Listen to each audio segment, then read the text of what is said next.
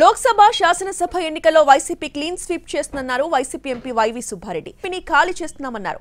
సాధారణ మెజార్టీ కోసం కష్టపడాల్సిన పని లేదని నూట ఐదు సీట్ల కోసమే ప్రయత్నిస్తున్నామన్నారు సజ్జల.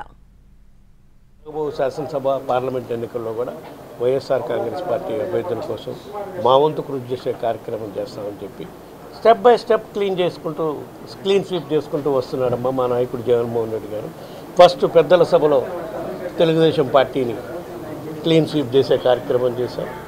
నెక్స్ట్ లోక్సభ తర్వాత శాసనసభలో కూడా అంశలంశలుగా అంశాలుగా క్లీన్ స్వీప్ చేసే కార్యక్రమం మా గౌరవ ముఖ్యమంత్రి జగన్మోహన్ రెడ్డి గారు నాయకత్వంలో చేసేదానికి మా గొంతు కృషి చేస్తామని చెప్పి. మనం గవర్నమెంట్ ఫామ్ చేయడానికి ఇంత కష్టపడాల్సిన అవసరం లే. మీరు తిరగాల్సిన అవసరం లే. నూట పదో నూట ఇరవై అయితే ఏం కష్టపడాల్సిన అవసరం లే. వాళ్ళంతటా వాళ్ళు రెడీగా ఉన్నారు. వేయడానికి ఫ్యాన్ గుర్తు మీద ఓటు వేయడానికి గుద్దడానికి రెడీగా ఉన్నారు జనం కూడా.